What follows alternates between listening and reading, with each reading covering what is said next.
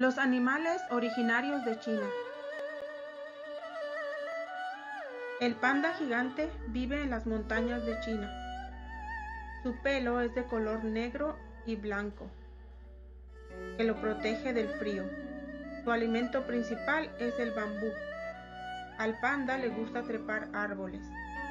Este oso no duerme durante el invierno. El leopardo de las nieves. Su pelo es de color amarillo claro, casi blanco, con manchas grises y negras. Tiene una cola muy larga para protegerse del frío. Vive en las montañas nevadas de China.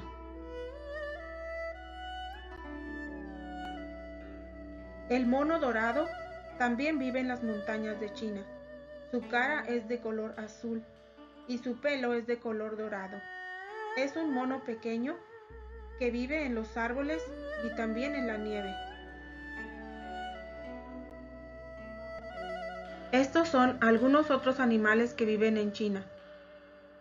El panda rojo, que le gusta vivir en los árboles, el tigre y el faisán dorado, que es un ave de muchos colores.